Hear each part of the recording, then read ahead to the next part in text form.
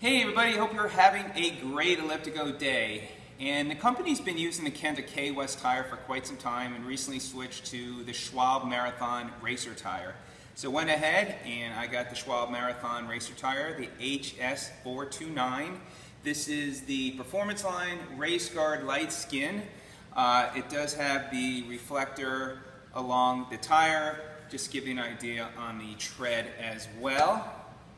There you go. And one thing about the tire, this is a max 85 PSI tire, but suggested to put in about 80 PSI when filling it up. It's supposed to be a smoother, nicer ride, and I'm really looking forward to that. And now what I want to do is go ahead and install it on my wheel and just see how easy it is. I've gotten so used to putting on the Kenda tire and really fairly easy to put on and take off. So that's what I'm going to do now and then go out on my next ride, see how the experience is, and share with you that experience. And in the meantime, you can click on the link to get more information and you can order them. And if you have any questions as well, you can let me know. So time to put it on and let's see how easy it is. Okay, got my tube in the tire and let's go ahead and put it on, see how easy it is to install.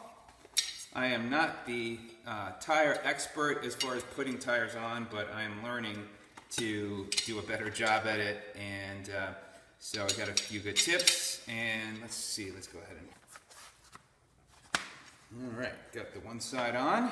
And now let's make sure, uh, so I don't have a pinch flat, to get that in place properly. Seems like I got that seated pretty well. Perfect. Just make sure, check the other side. Uh, looks like it's lined up okay. Almost got this in. All right, success. I got it on, not a problem. So I didn't need a tool or anything. It seemed like it's in there, shouldn't have a pinch flat issue.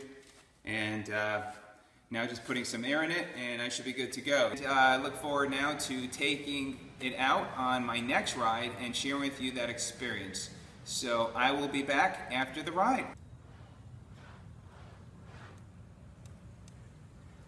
All right, I am back.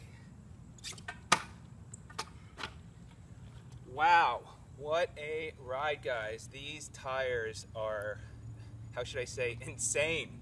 They are amazing. In three and a half years, I have never had a smoother ride.